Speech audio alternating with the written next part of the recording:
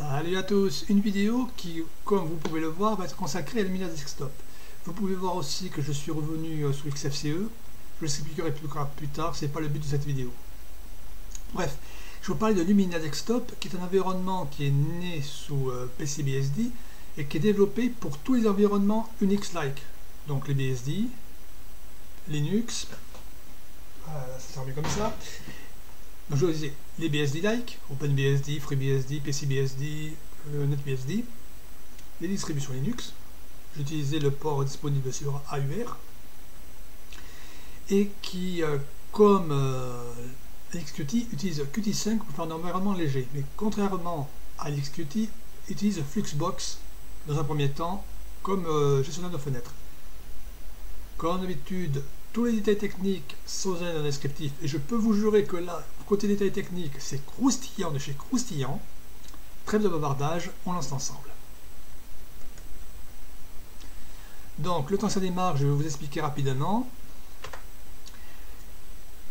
C'est un environnement qui est très léger, est aussi très restreint. J'étais obligé de rajouter euh, de quoi me gérer euh,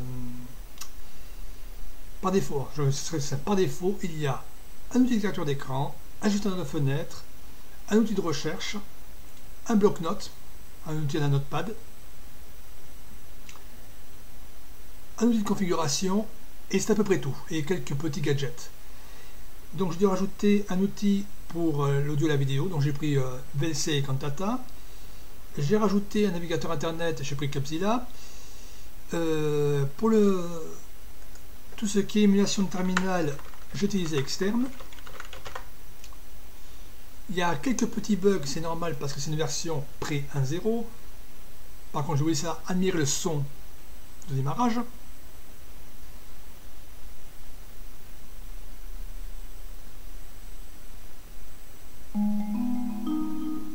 Ah, par contre, il y a un petit bug pour l'affichage. Donc là, je vais me déconnecter, me reconnecter, comme ça, là, le fond d'écran sera en plein écran par défaut. Ça sera plus joli.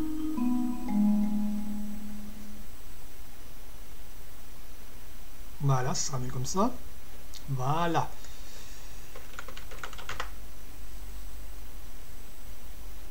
J'ai rajouté, le temps que ça sonne, voilà. Donc je disais que j'ai rajouté QPS pour avoir un, gestionnaire de tâches. Donc au démarrage, il consomme peu ou prou 250 mégas, ce qui n'est pas excessif. Par contre, il y a un sacré bug que j'ai constaté, c'est qu'il est impossible de faire prendre en compte euh, l'outil NMApplet qui permet de gérer, NM pour Network Manager, qui permet de gérer et euh, de voir visuellement où en est le, réseau. Parce que si on va dans l'outil de configuration, que je vais vous présenter par la même occasion, on peut gérer pas mal de choses. Voilà, donc on peut gérer l'apparence, le thème du bureau, alors on peut mettre le thème qu'on veut, donc je vais mettre le thème Lumina Default par défaut. Le jeu de couleur, va mettre euh, Lumina Glace. Voilà. Le reste ne touche pas. Euh, on peut changer le fond d'écran, bien sûr. je vais garder parce que je trouve sympa. Les effets de fenêtre, c'est par rapport à Compton. Et le gestionnaire de fenêtre, on peut décider d'avoir euh, X, euh, on peut avoir 1, 2, 4, 8, 12 bureaux virtuels, et ainsi de suite. La configuration d'interface, là, le contexte menu et plugins, c'est tous les greffons qu'on peut avoir dans le menu contextuel. Il n'y a pas grand chose de plus à rajouter. Là, on peut rajouter des petits outils, des petits widgets. Donc, il y a le bloc-notes qu'on peut rajouter, un calendrier, dans son application, un lecteur audio, le RSS que vous avez ici. Voilà, donc là, vu l'icône des bureaux, je ne sais pas ce que ça va donner.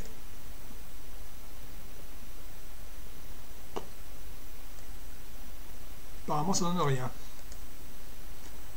Non. Voilà. Et on a les panneaux. Il y en a un en bas, bien sûr, avec euh, qu'on peut personnaliser. Là, on peut rajouter, euh, afficher le bureau. Il n'y a pas grand chose qu'on peut rajouter. la plus grosse partie est déjà présente. vous avez des options qu'on peut rajouter. Et en haut, il y a un tout petit euh, panneau qui est rectactile qui permet de gérer comme ça. ça c'est J'ai gardé la, configuration par défaut. Là, les différents types d'applications. On a les quatre principaux, à savoir le navigateur internet, le gestionnaire de fichiers qui s'appelle Insight, que je vous montrerai par la suite, le client de courrier, on peut prendre Thunderbird ou autre, celui qu'on a envie, et externe pour le terminal virtuel. Après, bien sûr, on peut prendre par euh, type de fichier, ainsi de suite. On peut personnaliser. La localisation, il prend le réglage par défaut du système. Comme j'avais mon système en français, il me l'a mis directement en français. Les préférences générales, c'est par exemple si on veut activer le pavé numérique au, au démarrage, pardon, si on veut son démarrage, si on veut modifier la date de l'heure, le format de l'heure, voilà. Tout se modifie d'un simple clic de souris. Donc sur ce plan, c'est pas mal. Donc là arrive la partie un peu buggée, dirons-nous. Bon, mais ça, je vous l'avais déjà montré. Là, c'est raccourci clavier, donc euh, tous les raccourcis clavier classiques. Hein, euh, que ce soit euh, prendre une capture d'écran, fermer. C'est vraiment le, tout ce qui est le plus basique en raccourci clavier. Et la partie qui, a du mal à fonctionner, c'est celle-là. J'ai essayé 15 fois, impossible de faire prendre en compte Network Manager Applet. Ça m'a pris la tête, j'ai essayé pendant plus d'une heure, je n'ai pas trouvé de solution. Donc si vous en avez une, je suis preneur. Voilà, donc ça c'est vraiment les réglages. Donc là, on va passer justement, bon j'ai mis comme là, je vais vous montrer l'explorateur de fichiers qui s'appelle Insight et qui a été traduit littéralement par haut profondeur. Ça peut porter à confusion. Donc sur le côté, on a les options pour ouvrir les éléments et rajouter, pour renommer, pour copier-coller, pour supprimer. Voilà, donc là, euh, c'est tout ce qu'il y a de plus classique. Les périphériques externes, on branche une clé USB, ça revient automatiquement, est signé. Donc là, c'est vraiment un outil un peu basique, mais c'est une version 1.0, donc automatiquement, on ne peut pas non plus demander, enfin, une version presque 1.0, on ne peut pas non plus demander la perfection à chaque fois. Donc là, si on va sur parcourir les applications, on a un menu déroulant qui apparaît. Donc j'ai mis Cantata pour avoir l'audio, VLC. Mais si on préfère avoir une présentation à la KDE, il suffit de cliquer ici. Et après, on clique ici. C'est personnalisé, c'est pas mal, ça j'aime bien. Voilà. Ça qui est agréable, j'aime bien cette petite option. Euh, bon, j'ai mis Xarchiver, mais apparemment il n'est pas pris en compte. Alors voilà l'éditeur de texte qui a par défaut. Bon, il est un peu basique, comme tout l'ensemble. On va voir comment fonctionne l'outil de capture d'écran, tant qu'on y est. Voilà, on a des préférences. Par contre, vous remarquerez que le deuxième espace de travail n'a pas les, panneaux. C'est apparemment espace par espace. Dommage. Donc là, parcourir les applications, on va prendre la capture d'écran, petit, petit, petit, petit. Alors, il est passé au capture d'écran. Je vais me crever les yeux maintenant. Voilà, on peut configurer là l'écran. Voilà, screenshot.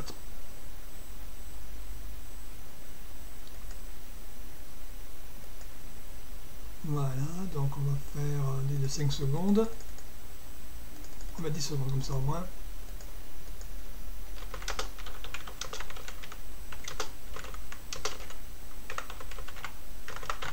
Normalement, ça devrait rentrer la totalité.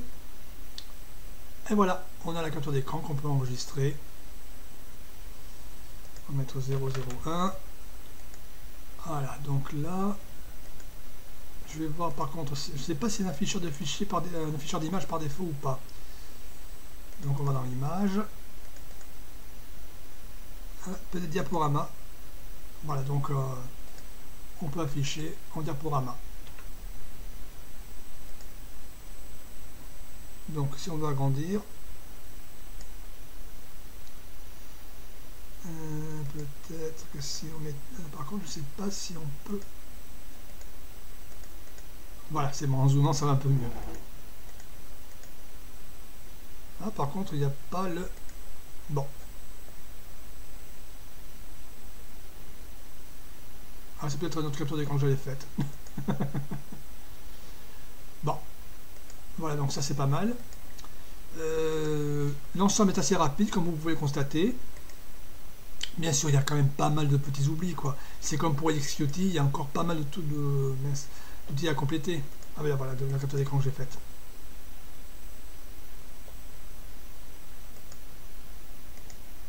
Voilà, donc c'est celle-là que j'ai faite tout à l'heure. Elle n'était pas rangée au bon endroit. Donc on va la mettre dans l'image. Voilà, c'est mieux comme ça. Donc, euh, l'ensemble est assez agréable à l'utilisation. C'est une version pré 1.0 comme je l'ai précisé. Quand on va dans le, info, voilà.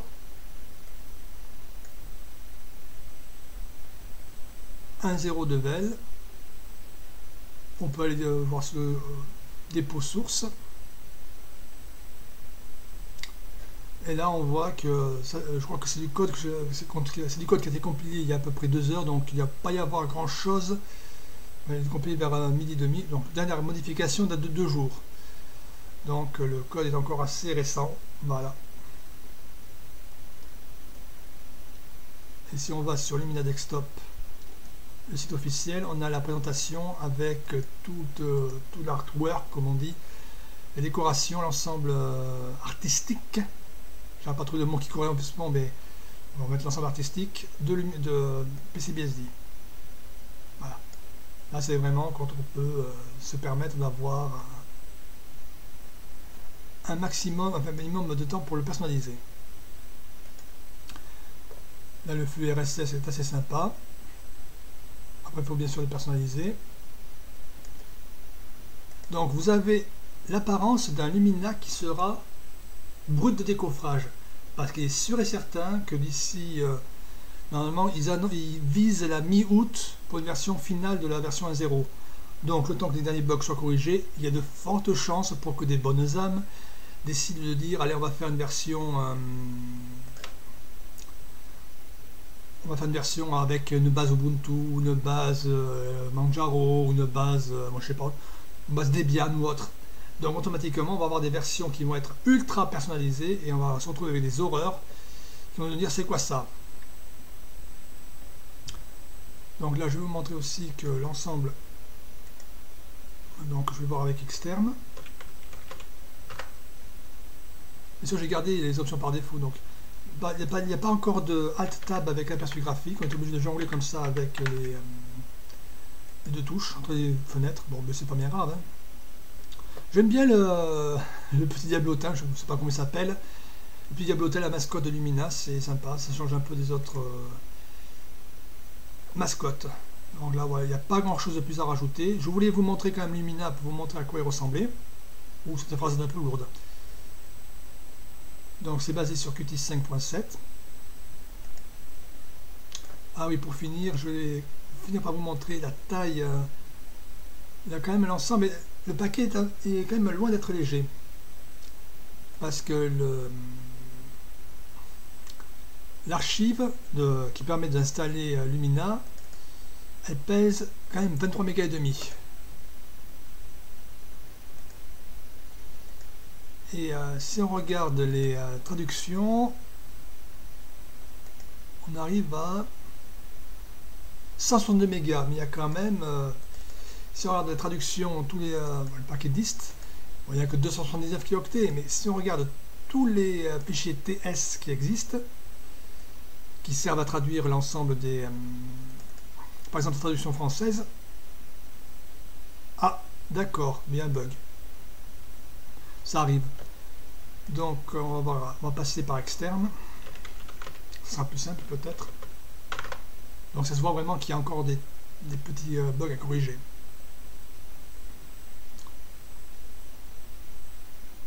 externe ne veut pas se lancer. Ah, si c'est bon. Donc, on va aller dans Lumina et 18N. On va mettre TSFR. Donc, une traduction, c'est en gros euh, c'est pas excessif, c'est 284 kilooctets. Mais euh, il y a quand même pas mal de petits outils. Par exemple, si on va, moi je sais pas si on va prendre le plus léger qui est Lumina Info, apparemment. Si on fait nano Lumina Info, .ts, c'est du XML apparemment. Ouh Donc il faut vraiment avoir l'outil spécifique. Non mais voilà, donc c'est pour vous montrer quand même l'ensemble en question. L'ensemble est très bien traduit, donc on va éteindre l'ensemble.